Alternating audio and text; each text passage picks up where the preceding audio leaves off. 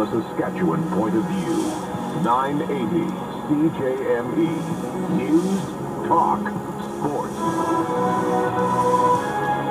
CJME News Time 1130. I'm Andrew Shepard. Several people remain hospitalized after a mass shooting in a South Texas church.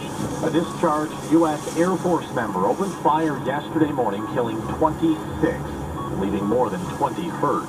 Police believe he later shot and killed himself in his vehicle. No motive has been found. It's the worst mass shooting in Texas history.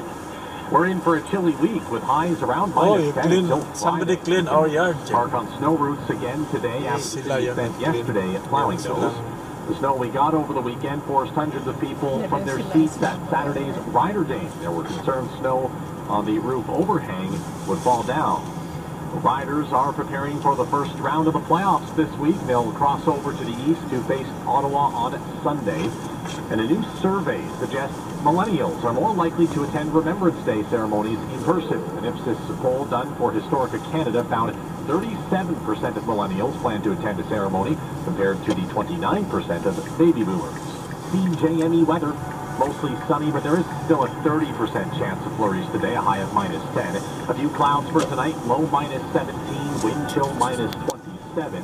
Mostly sunny for tomorrow, a high of minus 10, still that wind chill minus 27. In Regina, sunny, west wind at 8, it's minus 16.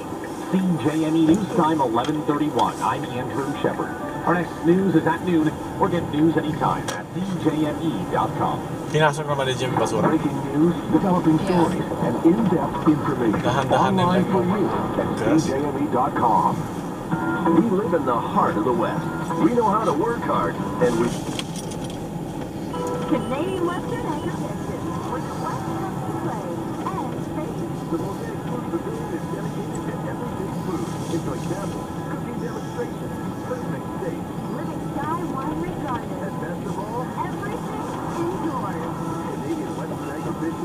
delivered 20th.